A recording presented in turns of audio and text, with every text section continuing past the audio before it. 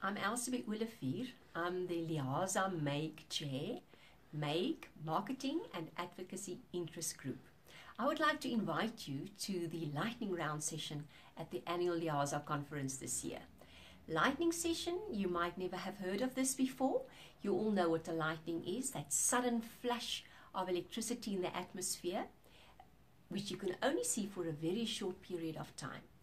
At the lightning round session, we will have a number of presenters sharing their expertise and their ideas with you, but these presentations have to be very short, only five minutes long. So please attend our session on Tuesday, the 3rd of October, and you can maybe learn how you should promote your library.